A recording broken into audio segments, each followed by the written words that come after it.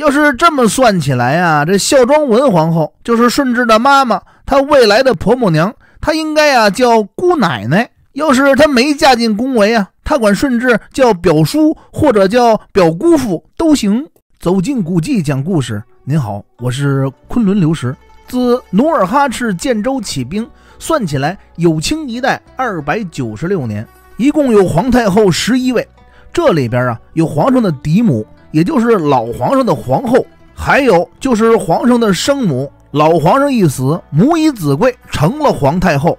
整个清帝国最尊贵的女人，那肯定就是皇后了。不过到了后宫当中，最受尊敬的人呢，还得说是皇太后。我们看清宫剧当中啊，皇帝见到太后自称儿臣，在正经的史书当中可不是这么写的。史书记载，皇帝在太后面前称臣。也不是啊，人前人后的就称呼太后为额娘，都是直呼尊号太后。要说这十一位皇太后啊，个个有故事。那么谁是这十一位皇太后当中最享福、最安逸的人呢？有人说呀，那就得算是孝庄文皇后了。哎，不尽然呐。咱们暂且不提孝庄皇后啊，年纪轻轻就守了寡了，因为关于守寡这问题啊，对皇太后而言不算什么。只有老皇上死了，新皇登基，她才能成为皇太后。您要是不守了寡，她能成为太后吗？孝庄皇太后时期，天下初定，这大清国的朝野上下呀，乱着呢。外边是三藩割据，又有闯贼陷贼的余孽还没剿平。朝廷内部呢，权臣重臣一划了一大把，索尼鳌拜哪个呀，也不是好摆布的。孝庄文皇后虽然是清帝国最尊贵的女性，但是啊，那注定是一睁眼就满脑门子官司解决不完的问题。那有人说，那不是孝庄，那就是慈禧呗。哎，这有权的女人呢，她不一定幸福。孝清显皇后慈禧虽然啊直接间接影响了大清四代，可是呢，他不但把国家折腾亡了，而且身后啊留下了一片的骂名。那有哥们就得问了，那说书的你说，这大清国谁才是最安逸、最享福的太后呢？哎，我给您说一位，您看对不对？这就是清世祖的继后博尔济奇特阿拉坦齐齐格。有人说不能吧？这阿拉坦齐齐格虽然做了七年的皇后，可是在这七年里啊，这皇帝老公压根儿就不待见她，几次三番的还想把她废了。二十一岁就守寡，这人生啊，还别说幸福了，简直就是悲惨。关于这事儿啊，您还真得听我慢慢说，因为这里头啊，它有故事。阿拉坦齐齐格是顺治的第二任皇后。第一任皇后啊，也是一位科尔沁草原的公主，不过呀，让顺治皇帝给废了。被废的皇后啊，是博尔济奇特孟古青，是阿拉坦齐齐格的堂姑。要是这么算起来呀，这孝庄文皇后就是顺治的妈妈，她未来的婆母娘，她应该呀叫姑奶奶。要是她没嫁进宫闱啊，她管顺治叫表叔或者叫表姑父都行。哎，您别乐呀！这皇上家的婚姻呢，就是这德行。他们呀，要的不一定是婚姻有多幸福，他们要的是皇权的稳固。顺治皇帝废了皇后，总得有个理由吧？于是啊，他向全天下交代了三条理由。第一呢，选定这孟古青做皇后啊，是睿亲王多尔衮的主意。没经过自己同意，这其二呢？顺治说呀，自大婚以后就和这皇后啊上不来。顺治皇帝生活比较简单，算一个简朴的皇帝。这皇后呢，生活是极其奢侈，很多行为让皇帝看不惯。据顺治自己说呀，在废后以前，这两个人啊已经分居三年多了。还有一条最重要的，皇帝说皇后啊不够贤良淑德，不配做皇后。平时在后宫啊，这皇后看到哪个妃子长得比自个儿漂亮啊，她也是生气；看到这皇上啊偏疼哪个妃子，她还生气。可是她是皇后啊，她手里有统掌六宫的权利啊。于是啊，她就给这些妃子小鞋穿。有的呀，甚至被他整死了。综上三条啊，这皇帝才把这位皇后给废了。其实啊，这顺治皇帝就是对这桩政治婚姻的不满。这评戏刘巧儿怎么唱的来着？这一回我可要自己找婆家呀！废了自己不待见的皇后，是不是这顺治皇帝就能自己亲自的挑一个又狗狗又丢丢心仪的皇后呢？嘿嘿，想得美！顺治十年，皇帝废后时间不久，这礼部啊就给皇帝上书：中宫之位不宜久虚，陛下应尽早册立中宫，以安天下臣民之心。于是啊，这皇上的妈妈孝庄皇太后就颁布懿旨了，让这个六部朝臣呢，这次选皇后不要再拘泥于蒙古贵胄了，把网撒大着点儿搞一个全国性的海选。于是这朝廷就颁布诏书，在内满洲官民女子，在外蒙古贝勒以下大臣以上的女子中挑选皇后。顺治啊，得到消息以后啊，就想了，哎，这回行了。可算呀，不用再娶一个大脸盘子的蒙古姑娘了。就在皇上啊幻想满洲女子的懂礼、汉人女子的温柔的时候啊，消息来了，这回选的皇后啊，还是一个蒙古大妞，并且呀，还是博尔济奇特氏，是皇太后孝庄亲自拍板定下的。最为尴尬的是啊，还比自己矬了一辈儿。没办法呀，拗不过妈妈呀，也只好啊娶进来看看再说。阿拉坦齐齐格进宫那会儿啊，才十四岁。那年啊，其实这皇上也不大。虽然这顺治皇帝已然是二婚了，可是那年他才十七岁。娶进宫来呀，这皇上才发现，这位皇后在家里呀，人家肯定都是教育好了，以他辈废的姑母为戒。进得宫来呀，不年不语的。顺治呢，倒也还很喜欢这位呆萌可爱的小皇后，并不像外边传言的。这继后一进宫啊，皇上就不待见他。顺治十二年，这皇后病了，什么病啊？出痘，也就是天花啊。依着祖制家法呀，这顺治啊就躲到了南宫避痘，不能把天花传染给皇帝呀。史料记载，顺治皇帝十分担忧皇后，虽然自己避斗南宫，但是啊，命自己的亲信大学士索尼在内廷守护皇后。这索尼啊是个尽心竭力的大臣。经过这索尼的精心照顾啊，这皇后竟然没用吃药就痊愈了。从这儿开始啊，您就能看出来，这上天呀是眷顾这位皇后的。可是就在这会儿啊，顺治十三年，后宫所有娘娘的噩梦来了。谁呀？董鄂妃。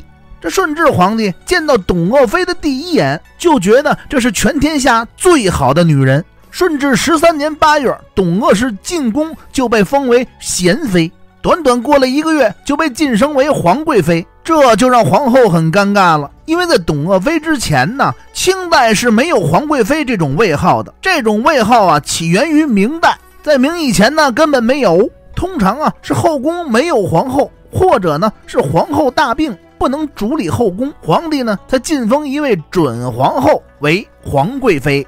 为的就是让这位贵妃呀负责后宫所有的事务，不至于后宫无主。可是这会儿不一样啊，算起来呀，这皇后才十五，足蹦着呢。你顺治皇帝好么样的册封了一位皇贵妃，什么意思啊？果不其然呢，这没过几天，顺治皇帝啊又要废后。就在顺治十四年的冬天，孝庄皇太后病倒了。皇贵妃董鄂氏啊，忙前忙后，精心的伺候皇太后，直至太后的病情好转。史书上啊，用八个字记载了当时的董鄂妃：朝夕侍奉，废寝忘食。看来呀，这董鄂娘娘在孝道上也是好的。可是这年轻的皇后啊，不知道吃了什么迷了眼。在整个太后病重当中啊，她竟然是没露面。这皇上啊，没份儿还要下屈呢。这下子可算让他抄住了把柄，废后一定得废后，让我最亲亲亲爱的董鄂妃来做皇后。这回啊，别人还没说不乐意呢，这董鄂娘娘啊，先抱大腿来了。董鄂妃跪在地上是苦苦哀求。她跟皇上说呀：“为了我，您就废掉皇后，这对皇帝的名声不利，也让我在宫中无法立足。您要是执意废后啊，我就死去。”皇帝一看呢，没办法了，这废后这事儿啊，只有在哥哥了。这皇后啊，可以暂时不废，但是啊，必须惩罚。下了一道圣旨，着停坤宁宫一切中宫建奏，就这么几个字儿，简单吧？哎，事儿大了。这中宫建奏啊，就是说每年的节日庆典，比如说元旦、冬至啊，皇帝万寿、皇后千秋啊，这些个节日里啊，满朝文武大臣都要给这皇后写贺表。其实啊，倒是无关痛痒的形式主义，但是呢，这足以证明皇后至高无上的地位。得让皇上给停了，这就是告诉大家呀，我这后宫出事儿了，皇后啊不招我待见，迟早还是一个字儿废。等到孝庄玉体大安以后啊，一听这事儿就急了，跟皇上说：“这皇后啊年纪还小，很多礼仪顾忌不到，有情可原。”这太后啊也没问这皇帝乐意不乐意，就直接呀恢复了皇后的中宫建奏，废后的事儿啊也就不提了。您看，在这次事件当中啊，老天爷又把这最后的一丝雨露洒向了这年轻的皇后身上。没过两年，到了顺治十七年的时候，董鄂妃死了。顺治皇帝当然是每日思念，闷闷不乐。不到一年的功夫，顺治十八年的七月，顺治皇帝也驾崩了，终于和他的白月光董鄂氏团圆于地下。这个时候，年轻的皇后二十一岁，好日子算正式到来了。顺治一死，我想这年轻皇后的心里啊，肯定是没底。丈夫虽然对自己不好，可是有他在呢，我就是皇后，天底下最尊贵的女人。他这一死呢，我身边呢却无端的又多出两位既陌生又熟悉的亲人。小皇帝康熙虽然是继子，但是啊，平时也没怎么见过面，并且呀，人家有妈妈，亲妈还在。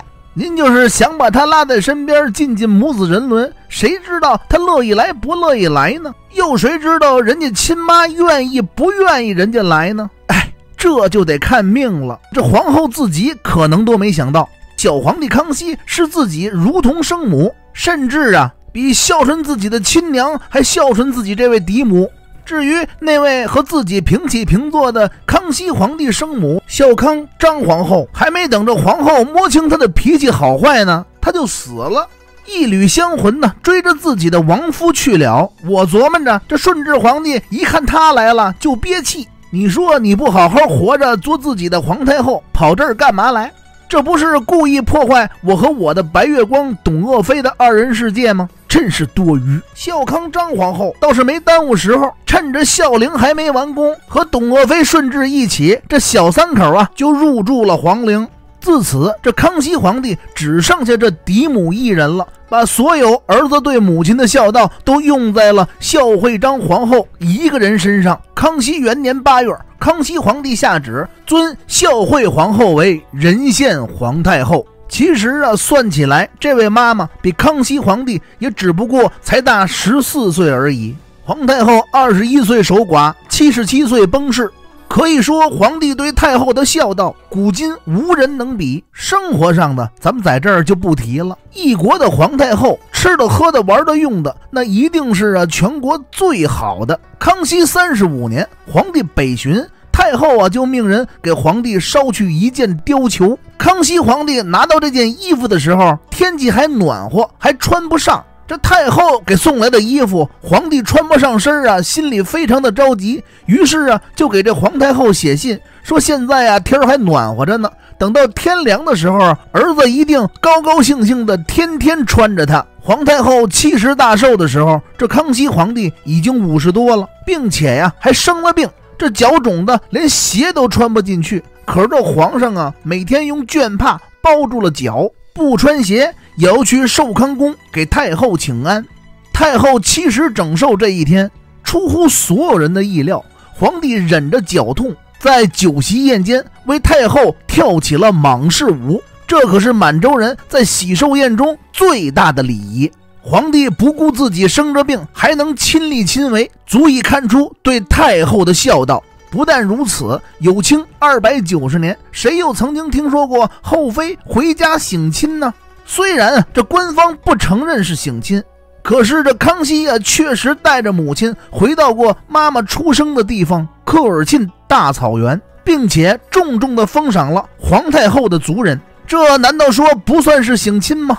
总之，博尔基奇特氏阿拉坦奇吉格这位皇后活了七十七岁，在做皇太后的五十六年里，享尽了人间的天伦之乐。虽然啊，这开局惨了点儿，时不时的有点心理压力什么的，但是他的人生却有一个完美的结局。